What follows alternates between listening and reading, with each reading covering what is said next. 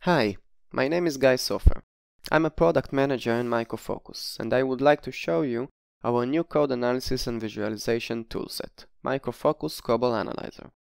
Micro Focus COBOL Analyzer is a powerful code analysis and visualization toolset designed to address the challenges of working with large-scale complex applications. Now let's open COBOL Analyzer. When we open the tool, we load a workspace. Workspace is a container that contains all the information about the application source code. On the left-hand side, we can see the repository browser, where we can see all of the application's objects, source files, copybooks, tables, data files, etc. On the right-hand side, we see charts that provides application-wide information. We can explore the complexity of our application, size of source files, and which files are being modified more frequently we can drill down those charts to get sortable lists of files that allows us to start analyzing those files.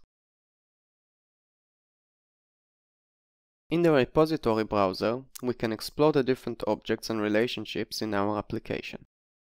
For example, which copybooks are used by a COBOL file, and for each copybook, which other files use it. The repository browser is also searchable, so we can search for star ID for example and explore the results.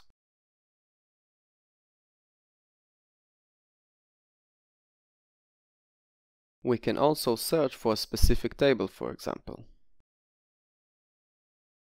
Every object exposes different information.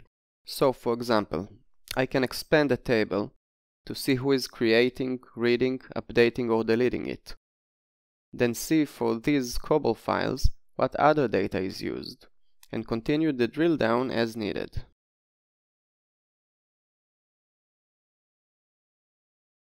Now all of this information is available out of the box just by loading the source files into COBOL Analyzer. We also have the Getting Started pane, which allows easy access to some of the most useful features, such as reports, like the inventory report, which exposes number of files, lines of code count, projects, etc. Or CRUD report, which shows which program is using which data file or table and how. These are very useful for migration and modernization projects, for example. We also have a link to our community site where you'll find tutorials, code samples, and more videos. Now let's show some quick analysis tasks.